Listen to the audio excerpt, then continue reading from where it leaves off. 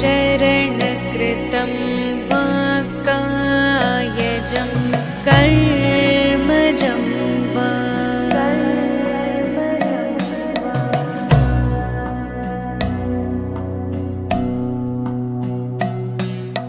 श्रवणनयनजं